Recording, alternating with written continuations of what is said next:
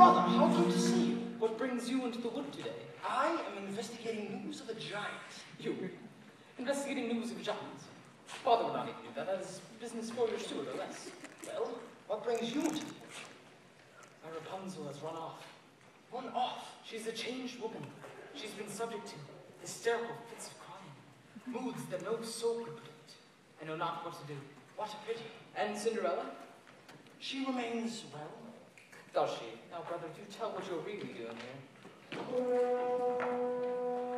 High in a tower like yours was but higher, a beauteous street.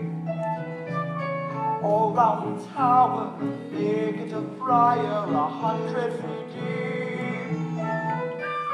Agony,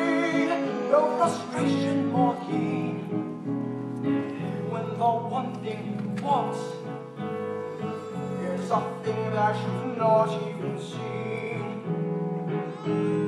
I found a casket entirely of glass. I know it's unbreakable. Inside the casket, a maiden of last, just as unwakeable. What unmistakable agony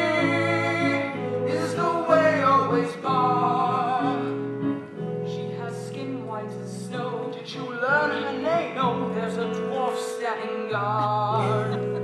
Agony, such that princes must weep. Always and almost to anything, almost or something asleep.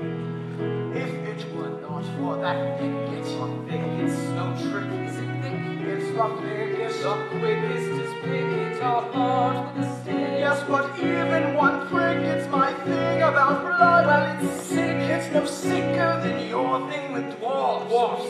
Dwarfs. Very upsetting.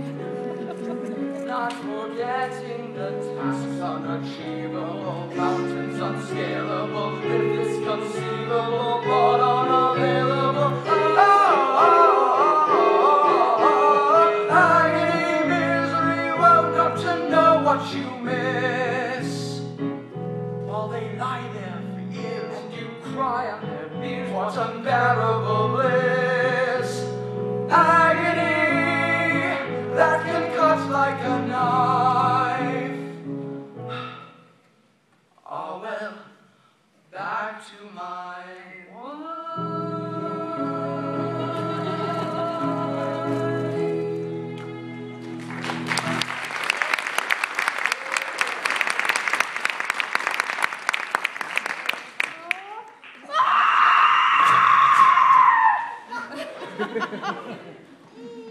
Rapunzel.